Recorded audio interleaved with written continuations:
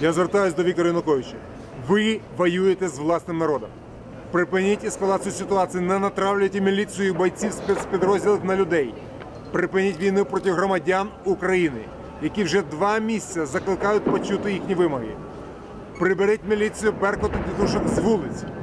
Єдиним виходом з цієї страшної кризи є повна зміна влади, проти якій півстав народ, призначення дострокових президентських і парламентських виборів. Знайдіть в собі мужність, не повторюйте шлях Чаушеску і Каддафі. В цій боротьбі все одно одне переможе український народ.